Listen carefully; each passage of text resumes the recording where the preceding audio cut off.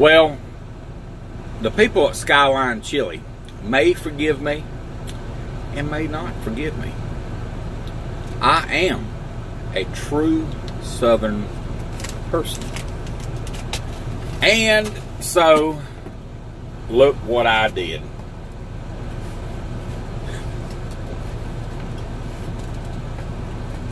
I put cold slaw on the hot dog. And let me tell you,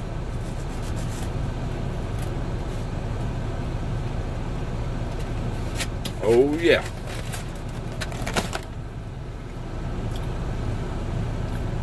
Thumbs up now.